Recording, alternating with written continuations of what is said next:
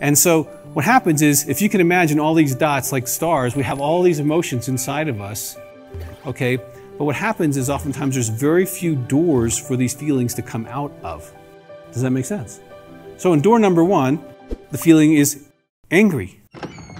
So if you feel overwhelmed or frustrated or confused or whatever, you get angry because you can't really identify this.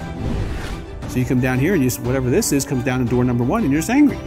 Or in my house, you could go to door number two, which was really angry. So that's like if you felt rejected or uncomfortable or insecure or afraid, you could get really angry and push people away from you. Right? And then we had door number three, other. that means you didn't know what you were feeling, so you went for a drive or a drink, or you just didn't talk for a while, you just shut down. It was other.